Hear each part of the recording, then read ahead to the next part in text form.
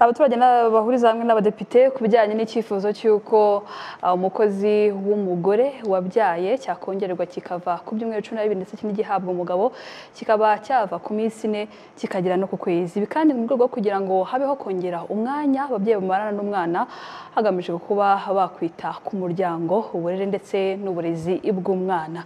Fiston Felix Habineza arakomeza nanone ubusanzwe itegeko ry'umurimo riteganya ikiruhuko cy'ibyumweru cumi na bibiri ku mukozi w'umugore wabyaye mu gihe umugabo rimuteganyiriza iminsi ine gusa. Abaturage bagaragaza aho babona hakwiye impinduka kuri ibi biruhuko. Hari ibintu biba bikenewe mu rugo. Akaba wenda yajya kumushakira n'iyo sombe n'icyo gikoma wenda nta n'ubundi wenda afite kuba yaba ari kumwe nawe. Wenda akaba bibaye ngombwa akanamutekera kuko urumva nta mbaraga aba yagatora noneho muri iyo minsi wenda icyumweru cyaba gihagije noneho yaba ari gutora akabaraga yajya anasindagira akagenda akabyikorera. Umugabo nawe iminsi ine bamuhereza yakabaye byibura nk'icyumweru kimwe cyangwa bibiri. Ariko yagaruka akagarukana imbaraga nyinshi cyane. Za siteresi zo kwibaza ngo arakuraho amafaranga yo kwita ku mwana zarangiye yagaruka akagakora neza cyane akitayeho. Ibi kandi babihuriraho na bamwe mu badepite bagize komisiyo y'imibereho y'abaturage bahamya ko ibi byahabwa agaciro kanini mu gusuzuma umushinga w'itegeko rihindura itegeko rigenga umurimo mu rwanda.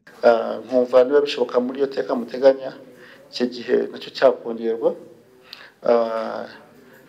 Nibura kikaba amezi atandatu ariko nanone no ku mugabo ubusanzwe mu itegeko hari harimo iminsi ine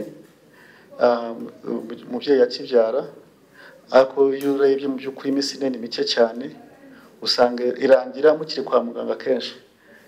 Iyo habayemo za komplikasiyo kubyara usanga umusiga mu rugo ugahita ugenda ugasanga ntacyo iminsi ine ikumariye. Iriya minsi ine nk'uko biri no muri sitati rusange na byo byazongera bikarebwa iriya minsi ine ni iminsi mike cyane. Ko nk'umudamu wagize ingorane akabyara bigoranye cyangwa akabyara n'umwana udashyitse ya minsi irindwi umugabo ni we uba uri kuri siriviyanse y'uriya mudamu.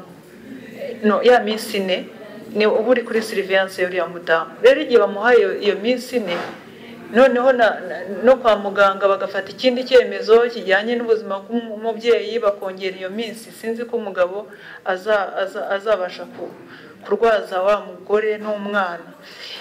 Honorable uwamariya odette perezida wa komisiyo y'imibereho y'abaturage mu mutwe w'abadepite ashimangira ko izi ngingo zisaba ibiganiro byimbitse ariko ko byaba ibitekerezo by'abaturage abadepite n'abandi bizahabwa agaciro hashyizwe imbere inyungu umuturage abifitemo muri rusange. Ibyo byose rero mu gusuzuma uyu mushinga w'itegeko ingingo ku yindi byose tuzagenda tubisuzuma kandi iyo tubireba tugenda twita ku bitekerezo bitandukanye ari ibyatanzwe n'abadepite hano ari n'ibyatanzwe mu nteko rusange byose tubyitaho kandi tunareba cyane cyane igifasha umuturage muri rusange. Minisitiri w'abakozi ba leta n'umurimo rwanyindo kayirangwa fanfan avuga ko ibi bitekerezo bizakomeza kuganirwaho n'izindi nzego bireba zirimo izifite mu nshingano ubwiteganyirize n'izindi hagamijwe ko ababyeyi bombi babona ikiruhuko gihagije. Natwe tubuza ko bihinduka ariko uyu munsi ntabwo ari byo twazanye. Ariko twumva yuko uko tuzagenda dutera imbere uko tuzagenda turushaho gushyira imbaraga cyangwa se ingufu muri sisiteme yacu ya sekirite sosiyale cyangwa se ubuteganyirize tumva tuzagenda duhinduka duhindura tukongera iyo minsi ku bagore ndetse no ku bagabo. Minisiteri y'abakozi ba leta n'umurimo itanga inama ko cyakongerwa vuba cyangwa bitinze byanajyanishwa n'ubukangurambaga bugamije koko gutuma umubyeyi w'umugabo akoresha ibikwiye iki kiruhuko. Aho kugikoresha nk'ikiruhuko cyo kwishimira ko yabyaye gusa ahubwo akagikoresha yita ku ruhinja na nyina. Fiston felix habineza i kigali.